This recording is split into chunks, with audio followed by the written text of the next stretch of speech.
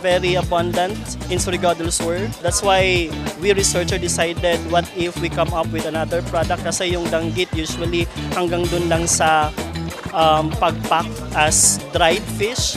So we decided na mag-innovate, mag-isip ng another product para magamit yung production ng danggit namin in Lianga. We have conducted several enhancement of the product and finally po, this May we will be launching our product sa community. We are glad that we are introducing not only yung original flavor po, but we have four flavors. Yung chocolate, yung um, coffee, nuts, and yung recently po na corn flavor po. Um, since natapos namin yung enhancement and incorporating different flavors, we are forwarded po dun sa pag-commercialize ng product.